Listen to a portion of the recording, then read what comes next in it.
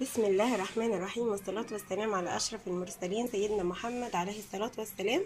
عليه الصلاة والسلام. إزيكم يا حبايبي عاملين إيه؟ رب تكونوا بخير. النهاردة هنعمل مع بعض آه، شوربة المشروم بالكريمة. تحفة جدا وجميلة جدا آه، مغذية جدا للأطفال. آه، المشروم مهدور حقه ما مش بنستخدمه في وصفات كتير مع إنه بديل اللحمة لل للناس اللي هي ما بتحبش تاخد تاكل لحوم وكده آه، بديل اللحمة حلو جدا ومفيد. بصي كمان يعني قوامه تحفة جدا والريحة بقى ما أقولكيش. هتجربيها إن شاء الله وتعجبك. آه، يلا بينا نشوف بقى عملناها إزاي. عملنا مع بعض كده شوربة المشروم بالكريمة. حاجة كده خيال. ريحتها تحفة جدا. ريحة الزبدة مع البصلاية المتشوحة كده. مع المشروم ولا إيه ولا كريمة الطهي. حاجة كده إيه جميلة جدا. شغل مطاعم من الآخر.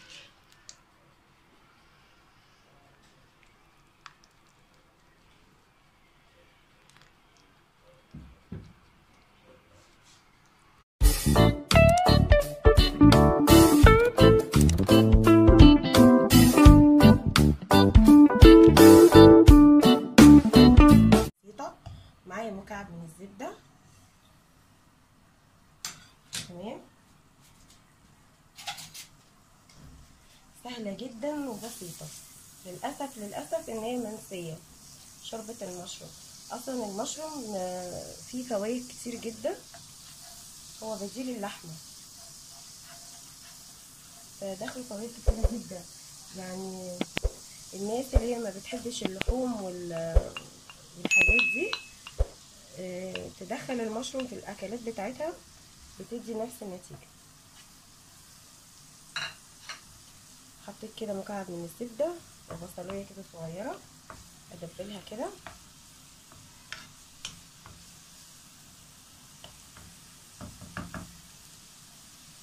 يا دوبك تدبل كده نكمل سوا.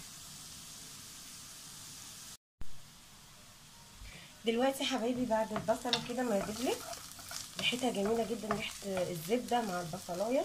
معايا هنا بقى المشروم بتاعي أهوت. آه غسلاه كده وصفاه لأن هو اللي عندي دلوقتي كان معلب فبصراحة فريش أو معلب آه مفيد جدا كله فوائد. بشوحه كده مع البصلاية. أنا بحب أعمل كمية لأن أنا عندي أسرتي كلها بتحب.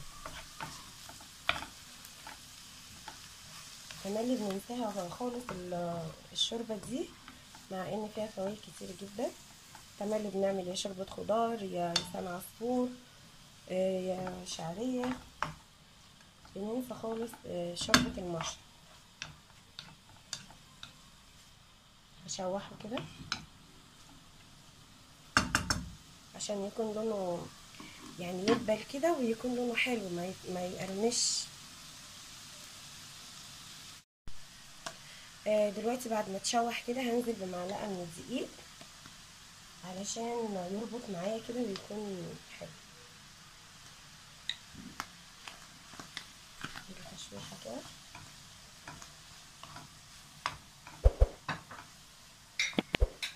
عشان أنا هعملها بالكريمة كده هيكون قوامه كريمي كده.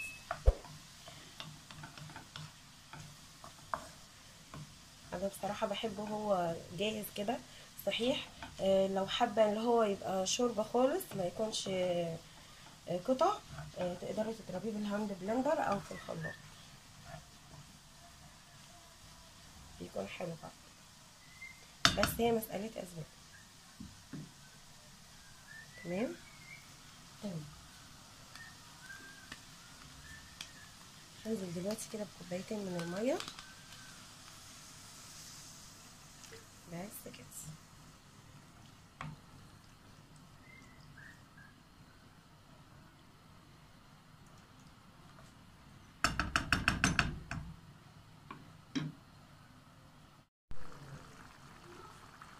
دلوقتي حبايبي خلاص كده اطمنت ان هي استوت. تمام؟ بصوا تحفة جدا ما شاء الله.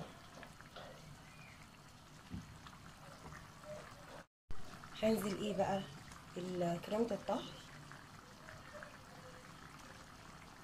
تمام؟ أنا عندي بحتفظ بيها في الفريزر. التلاجة ما تضمنيش من الحر اللي إحنا فيه ده ممكن تبوظ تمام فهي إيه معايا جامدة شوية كده علشان كانت في الفريزر.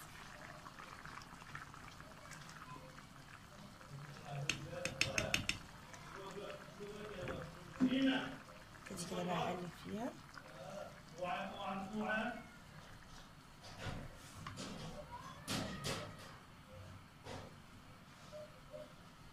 الريحة بقى تحفة تحفة. ريحتها تحفة جدا يا بنات. دلوقتي بقى هنزل كده بالملح. طبعا على حسب الرغبة. وب وشوية فلفل صغيرين جدا. بس كده.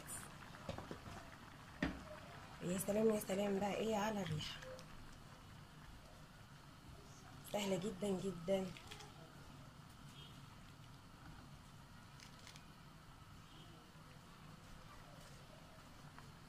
نقدمها بقى سوا وبالهنا والشفا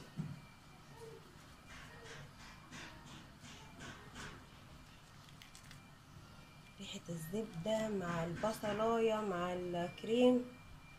مع كريمة الطهي تحفة تحفة.